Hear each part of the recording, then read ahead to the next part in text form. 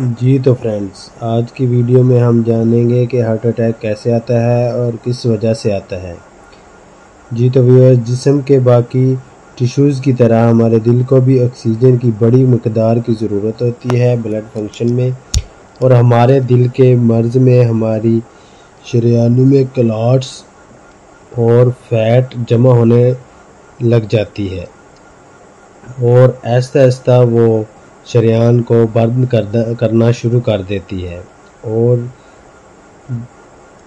जिसकी वजह से दिल को खून और ऑक्सीजन की सप्लाई रुक जाती है। हार्ट अटैक की तीन बड़ी वजह ब्लड प्रेशर हाई कोलेस्ट्रॉल और स्मोकिंग है।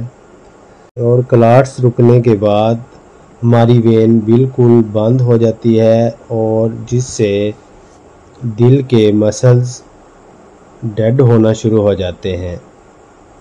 This is called a heart attack heart attack की सिचुएशन मुख्तलफ हो सकती है। इसमें सीने पर बोझ महसूस हो सकता है और ये कि एक, हमारी एक बाजू या दोनों या हमारी गर्दन में दर्द महसूस हो सकती है और जितना जल्दी हो सके इसका ट्रीटमेंट शुरू होना चाहिए।